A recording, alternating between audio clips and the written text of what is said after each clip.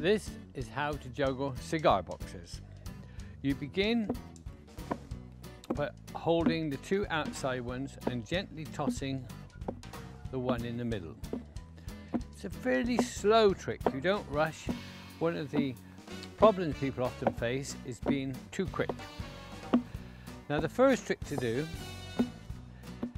is to reverse one of the boxes.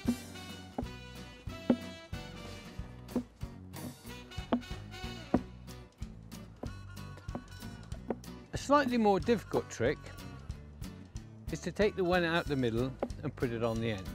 So it's like that. Show you one more time, like that.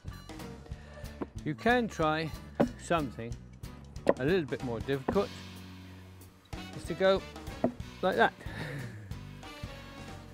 And then back. And you can toss it and catch it. If you're doing a show, you can do some joke things. One of the things that I often do with children is to drop one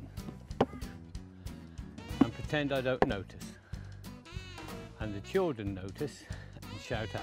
Just to refresh your mind, the, the crucial thing is at the very beginning is to get a nice pattern and bend your legs and toss the middle one up and catch it. And then you're ready to do tricks. So that is how to do cigar boxes.